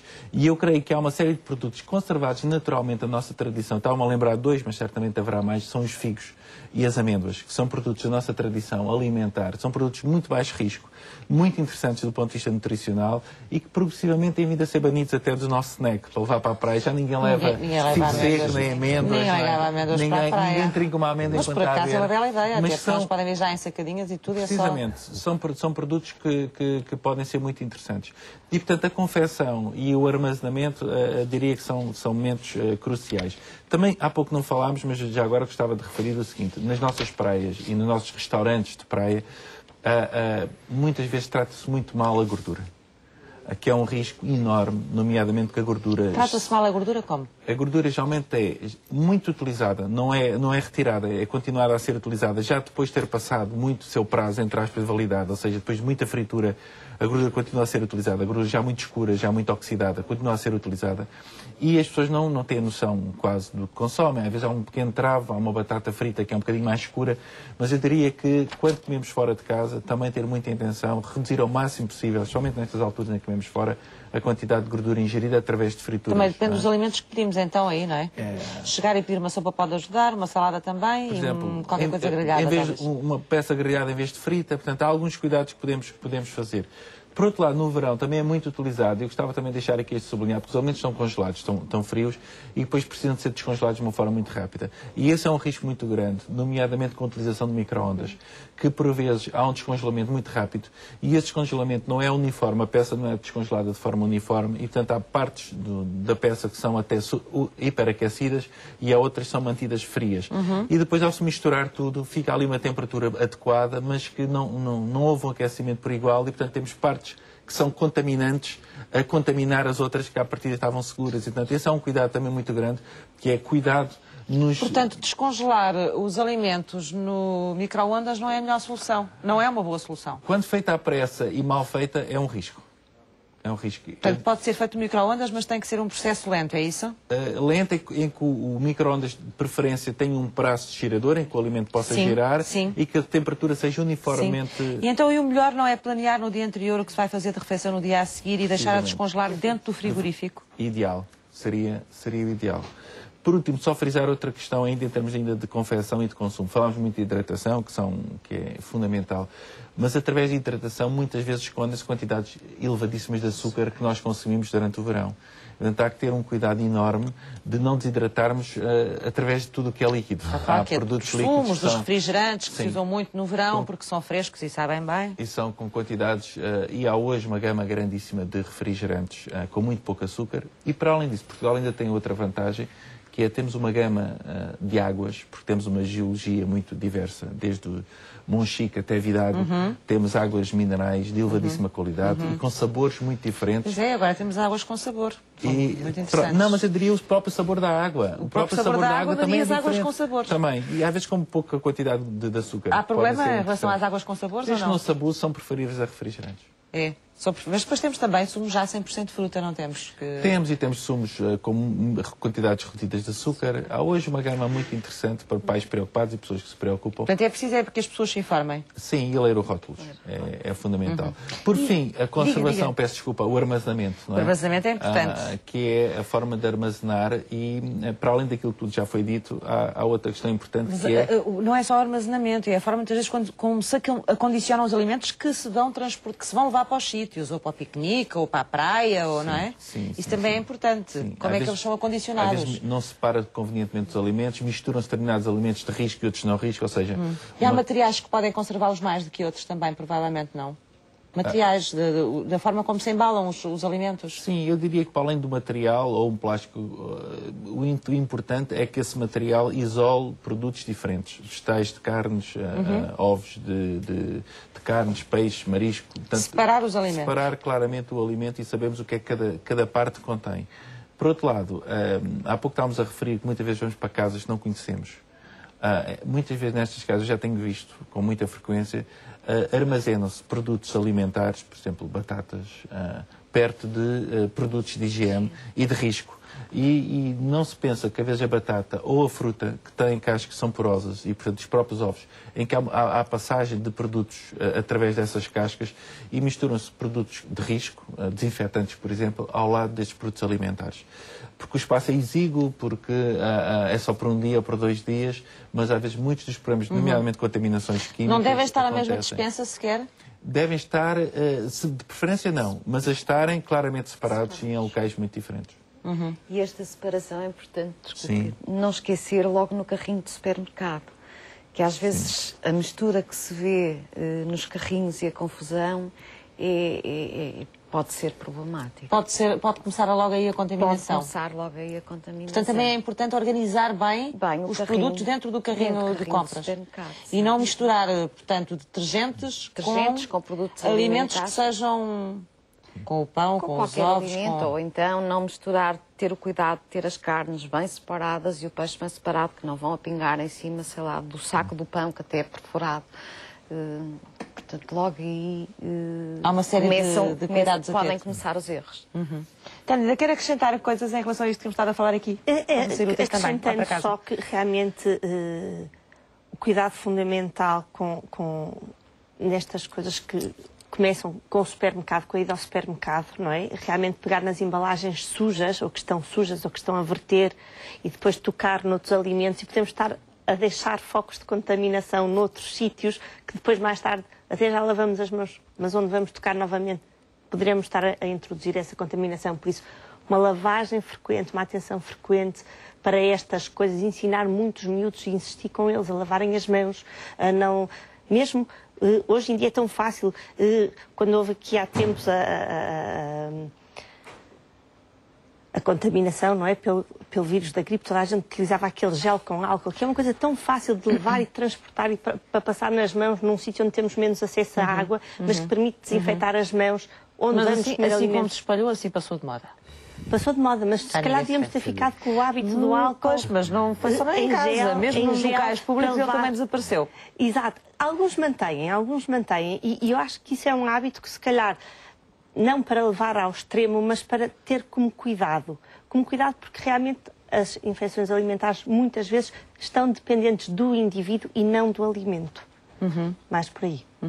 Vamos falar deste guia? Ou- Já, já agora só queria acrescentar, falar O muito que quiser, de carnes, tempo mas ainda. também é importante não esquecer, uma vez que estamos no verão, se algo que também nos distingue em termos da nossa dieta é o consumo de pescado, não é? Portanto, é uma altura do ano em que podemos, podemos e devemos co- consumir mais peixe, não é? Temos ótimos peixes. Muitas vezes até estamos mais próximo dele, não é? Exatamente, Porque mais as pessoas peixe. estão em E- zonas e de inscreve-se praia, mais etc. na nossa, no nosso tipo de dieta mediterrânica, não é? Portanto, nós somos, somos eh, dos, dos maiores consumidores mundiais de peixe aqui em Portugal e, e temos, temos excelente peixe, portanto, acho que portanto, as carnes vermelhas vamos consumi-las também com mais moderação, mas vamos, se calhar, privilegiar mais agora o pescado durante, durante este período. Durante o verão. E também, exatamente, e não, e não esquecer que mesmo em termos de, hoje o controle também que é, que é feito eh, a nível das lotas é, é, é muito efetivo, portanto hoje também aquele pescado que nos chega aos, aos eh, locais de comercialização já passou por uma série de controles, portanto, e nós também, em termos de segurança alimentar, eh, temos essa, essa Mas garantia. ainda se compra muito peixe na rua. Eh, Compra, mas passou pela lota. As lotas são todas devidamente eh, controladas, não é? Portanto, a inspeção sanitária também funciona, portanto, também é Tudo em zonas de praia, não é? Sim, sim. zonas Sim, assim, sim, mas as- sim, pescatórias. Sim, zonas pescatórias, sim. Mas, eu, como digo, passou, passou pela. Aí há, claro, ter o cuidado de o manter ao gelo fundente, não é? Portanto, sempre, sempre as caixas com gelo, aí eh, eh, resguardado do sol, não é? Não estar diretamente do sol, senão, senão há logo. eh, mas, mas eu acho que, é, que é, nesta altura eh, propicia-se muito ao consumo de, de pescado. Uhum. Vamos falar deste guia sanitário. Isto é o quê? Explique-me, é, por favor. Também dentro, do, é, é, dentro de um dos projetos lá da Escola Agrária. Foi um, é um, foi um livro produzido para criadores. Portanto, a ideia foi eh, chamar... Porquê um, vocês sentiram a necessidade de criar a este guia para os, é, um, para os é também, é, um, é, também um dos objetivos que nós temos, não, não só... É passar, fazer alguma extensão eh, formativa uh, fora, fora da Escola Agrária e, portanto, passar essa informação. Falámos aqui das zoonoses. É, é, por exemplo, uma, nós durante muito tempo tivemos ali uma zoonose regional que nos deu muitas dores de cabeça, que foi a brucelose, durante muitos anos. Uh, e que merecer também de todo o controle sanitário que foi feito nas explorações e também da educação sanitária junto uhum. dos criadores. Isto é só uh, para criadores que tenham pequenos, os animais mais é, pequenos, é, não é? Nesse caso, é, portanto, a nossa, nós ali, ovelhas... em, em temos muitos pequenos ruminantes, exato, esse era mais para pequenos ruminantes, ovinos e caprinos. Tem vários, é? Foi, sim, tem, tem vários tem, guias. Esse, exatamente, esse é, esse é, só mesmo de pequenos ruminantes, ovinos e caprinos. O objetivo, portanto, é de uma forma mais simples, uh, produzir informação técnica para, para chegar junto dos criadores. Que possa uh, ser útil para que eles. possa ser útil, obviamente, no controle sanitário dos seus efetivos. Isto depois foi, uh, foi distribuído? Como Sim, é que fizeram? Isso é distribuído, foi distribuído pelos criadores. envolveu esse projeto também um conjunto de de necrópsias, portanto, de análises que foram feitas em alguns animais Uh, para avaliarmos também algumas patologias Pois vocês uh, passam locais. aqui informação também sobre a mortalidade deste so, tipo de animais nas várias regiões do país. Nas várias regiões e particularmente, obviamente, na nossa. E os tipos de doenças. Tipo de, quais são as doenças mais frequentes? Isto também pode ser útil para os, os, para os produtores estarem atentos, Exatamente. É? Estão, estão mais atentos, estão mais informados. E, e, é um dos nossos uh, propósitos. Então, mas íamos dizer há pouco, é que eu vou me dizer como é que estas doenças se distribuem pelo, pelo país. Regionalmente há, há zonas não, com mais problemas que outros? Sim, regionalmente nós temos algumas, no caso das parasitoses, eu falei de, especificamente da doença do quisto hidrático, eh, sim. no interior, merecia obviamente de alguns hábitos culturais que, derivam ainda de fazermos algum abate para o autoconsumo, em épocas específicas do ano, nomeadamente no inverno, Uh, e, portanto, do, do, de, do, do, pouco cuidado que às vezes os, os, os, produtores têm de darem vísceras cruas aos, aos animais, neste caso em particular aos cães, a possibilidade de, eh, de os infectarem eh, e, portanto, eh, na questão concreta da identidose ou da doença do quisto hidrático. Uh, mas, portanto, um dos propósitos deste, deste tipo de, de, também informação que nós vamos passando para os criadores é mesmo esse, é, é, é alertá-los para essas doenças, uh, uh, identificá-las e, e, e, digamos, apontar as melhores formas de prevenção. Uhum. Paula, não falámos aqui dos piqueniques. Não sei se há alguma recomendação especial para quem gosta de fazer piqueniques nesta altura do ano e eles são agradáveis. Ah. As recomendações uh, são todas aquelas, aquelas questões que temos falado até agora. O frio, a separação dos alimentos. Uhum. Uh, frio, frio, portanto, é preciso levar uh, aquelas uh, lancheiras, as arcas. É? As arcas, sim, as arcas, é as isso. arcas, mas nas arcas com acumuladores de, de, de frio. Não de é frio. levar a arca por levar Só que ela não, ela não fica fria não fica por ela. Fria. pronto, e também ter atenção que, que não vamos a levar organização dos alimentos, da manhã, até às 8 da noite e, e esperar que, que, que, o que está dentro da arca esteja, esteja frio, porque não está. Uh, depois... Portanto, esses alimentos que vão dentro da arca devem ser, como dizia Pedro há pouco, os primeiros a ser consumidos também num piquenique, Os primeiros é? a ser consumidos. Portanto, e depois deixar os outros mais secos e que não têm esse problema Sim, para... para, para mais, uh, mais para o fim da tarde. Depois, um, nos piqueniques, às vezes associado aos piqueniques, também há o assar as, as sardinhas, o fazer assim um churrasco. E também é, é extremamente importante o cuidado, porque uh, todo o cuidado é pouco. Aquele cuidado que nós temos em casa não temos uh, nestas situações. Não Por temos exemplo? acesso muitas vezes a uma água corrente, uh, portanto as coisas não são as travessas onde uhum. são, iam as, as sardinhas, seguir são, em vez de bem lavadas, são, passam o, papel e seca Sim, e a seguir e vai a pôr a carne já Pronto, ou, e temos ou os peixe... problemas de contaminação cruzada. Uhum. Portanto, há uma série de, de práticas que, que, devem ser muito bem pensadas, ou uhum. seja... Então, como, é, como é que as pessoas podem uh, ultrapassar essa dificuldade, por exemplo? Há... Bom, o melhor é encontrar um sítio para fazer um piquenique um, onde haja água corrente, de Há é? locais uh, apropriados para... Pois, que para... já estão equipados, equipados, inclusive, e que têm às vezes até água uh, canalizada Sim, e tudo para as pessoas poderem usar. Portanto, o melhor... Usar é não fazer um piquenique selvagem, é fazer um piquenique em zonas que já estão Sim. preparadas para receber as pessoas. Isso é o ideal. Isso é ajuda. o ideal, isso ajuda. Depois também ajuda, eventualmente, qualquer coisa, levar água propositadamente para poder higienizar mãos e, uhum, utensílios uhum, e depois selecionar os alimentos que vão uh, ser incluídos no piquenique. Uh, pronto, e essas são... E há, há, peço desculpa, mas só acrescentar aqui uma questão. Há, uma, há uma, algo central num piquenique para evitar também este tipo de problemas, que é eh, cada um faz a sua coisa. Colocar a família toda a trabalhar, para não ser só a mãe ou o pai a fazer tudo, e ao se dividir por tarefas, reduz claramente o, o risco, de contaminação. Ou seja, quem trata das sardinhas não trata das sobremesas. Ah, porque não quem, há não é? contaminação é? cruzada. resolve muitos problemas, especialmente o encargo de trabalhos para o, para o pai ou para a mãe, não é? Uma coisa tão simples, não é? Precisamente. E que pode ajudar tanto. Estamos mesmo, mesmo no final. Não sei se quer deixar mais alguma recomendação, Pedro, antes de eu avançar. Não, aproveitar o verão, só para dizer aproveitar o verão para comer melhor do que habitualmente e mexer-se mais. Eu acho que isso é fundamental. Vamos avançar então. Os acidentes nos primeiros anos de vida acontecem com frequência, mas muitas vezes podem ser evitados. Vamos saber como nas respostas dos parceiros.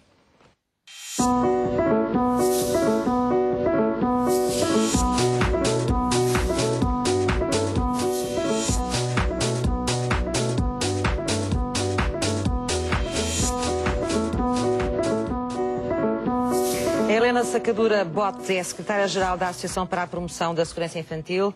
Olá, Helena, bem-vinda à Sociedade Civil. Obrigada.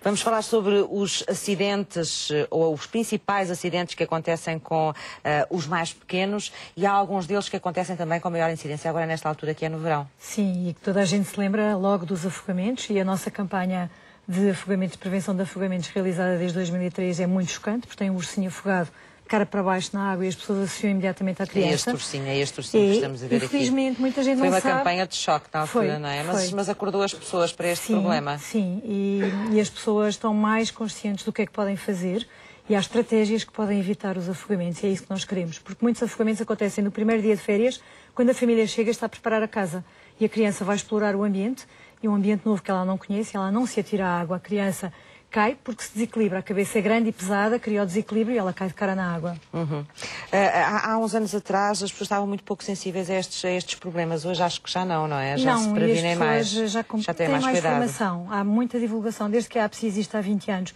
que temos feito uma Olha, divulgação enorme. Desculpe interrompê-la, era isto que estava aqui a dizer, que é o facto do bebê a cabeça... da criança pequena ter a cabeça mais pesada que o resto Sim. do corpo e, portanto... Sim, eu acho que esta imagem é muito elucidativa, porque mostra o peso enorme da cabeça da criança, 25% uhum. do peso total do corpo, enquanto que a nossa de adultos é só 6%. Uhum. E isto faz com que a criança, quando espreita, se desequilibre e caia com a cara na água. Uhum. Estava a dizer que as, hoje os pais já estão um bocadinho mais sensíveis, Sim. e os familiares, Sim. quando são os familiares que acompanham as crianças, é, esta, é este problema, não é? E, e, e os pais muitas vezes não confiam nos outros familiares, mas é importante que o façam, preparando os outros familiares para saber como é que as coisas acontecem e quais as estratégias mais eficazes uhum. para evitar cada tipo uhum. de acidente. Portanto, quando vamos para uma casa, por exemplo, de férias, que tem uma piscina, uma das primeiras coisas, uma das primeiras preocupações era perceber se ela tem, o se ideal ela está é não protegida. Marcar, não marcar a casa, não ir de férias com crianças pequenas, se a piscina não estiver protegida porque senão não vamos ter um verão descansado. Quando falamos em protegida, é fechada, com vedada. Vedação, com uma vedação. E que não seja fácil de abrir já não, agora, não é com uma, uma boa altura, que seja transparente para deixar ver se a criança, entretanto, passou para dentro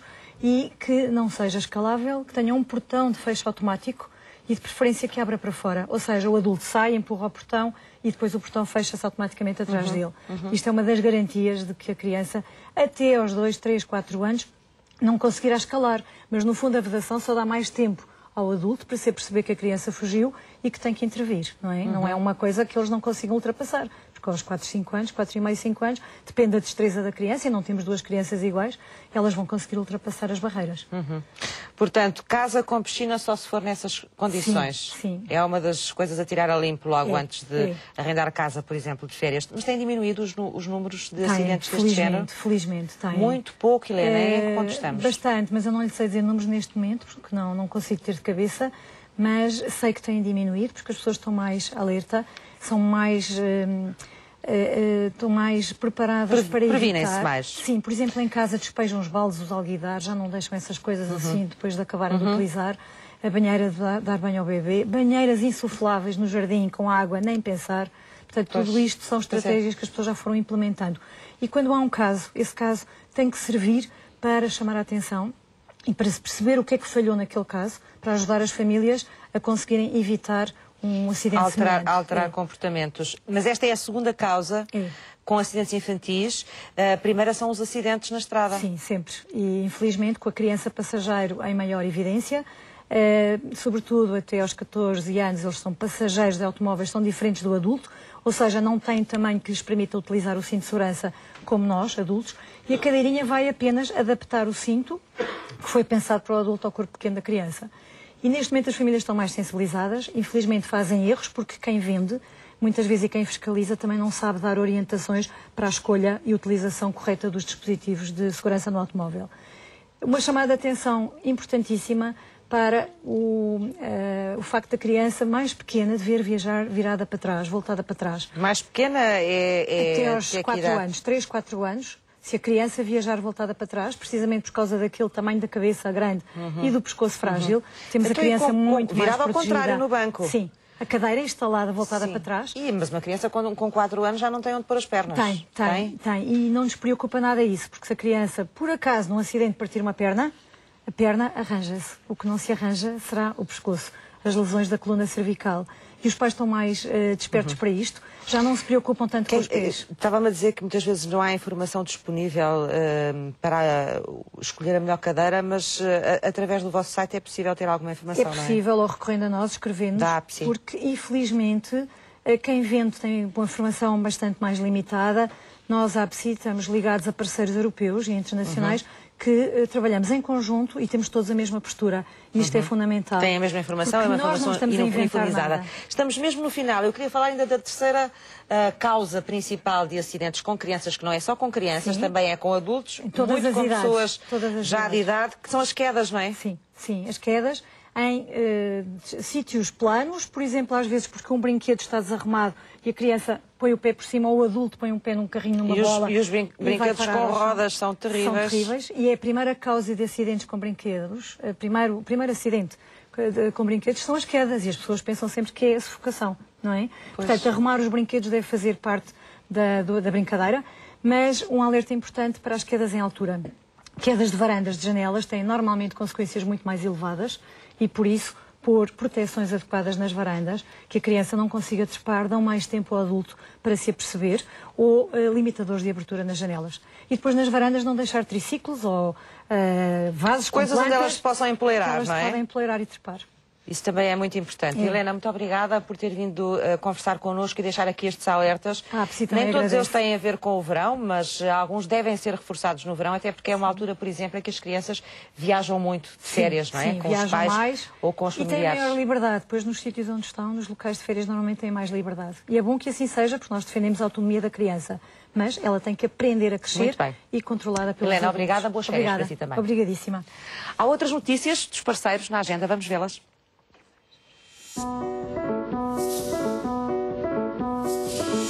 O Oceanário de Lisboa convida os mais novos e mais curiosos para o CSI Ciência sob Investigação.